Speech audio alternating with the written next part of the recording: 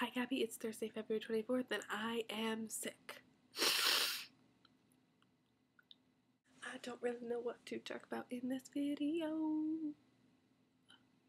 My voice is kind of weird and not very loud because I'm sick and um, I don't really know how loud I'm talking because I can't really hear right now, which is the main reason why I'm probably really quiet, but I just don't want to be yelling. So this morning I was supposed to work, and so I got up at 8 like I usually do, got ready, left at 9, was on the road, phone was in my pocket, ready to go to work. Get to work. The lights are already on at work, which they shouldn't be on because you can't go in there until I show up, right? Apparently wrong. Open up my phone. Text. Hey girl, you don't have to go to work today. You get to sleep in. Usually that'd be a great text to get, but not when you're already at work. It's okay, I just got to watch a lot more Doctor Who this morning.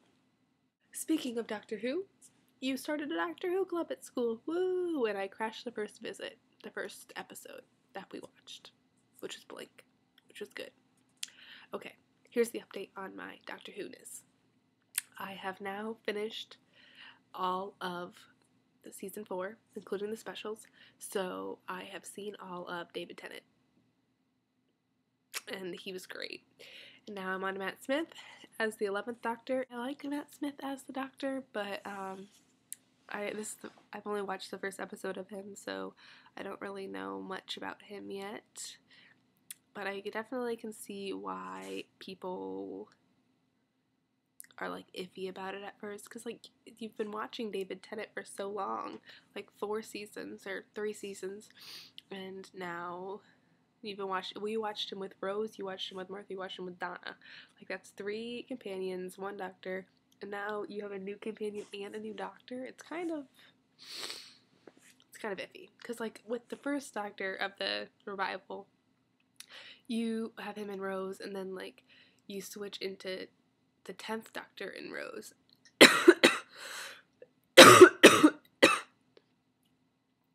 you switch into the tenth Doctor in Rose, so it's kind of like a phasing you into the new Doctor. But um, this one is just kind of like cut, like Doctor with no companion, cut it. Doctor, new Doctor, Amy. I don't know. I'm not really sure what I think about Amy yet. She seems fine. Rose esque so far, but I've only, again, I've only watched the first episode, so I don't really know.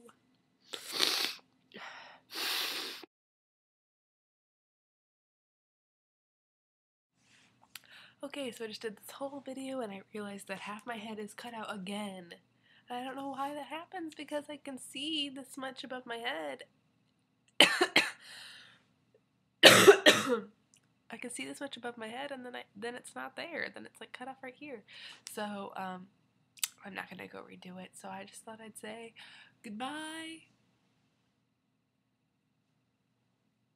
and I'll see you on Monday.